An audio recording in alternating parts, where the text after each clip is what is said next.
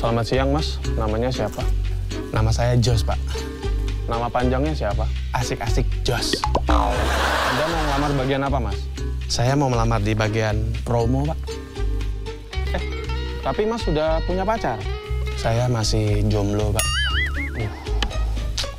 Mohon maaf, Mas. Mas, kami tolak. Kok gitu, Pak? Ya gimana mau promosin barang kita, Mas? Promosin diri aja nggak bisa. Saya punya kelebihan, Pak. Ya udah, kelebihan kamu apa? Kelebihan saya, Pak. Merawatannya pergi, Pak. Menikah sama yang lain. Bagus, bagus. Oke, kalau gitu kamu kami terima. Selamat ya. Makasih, Pak.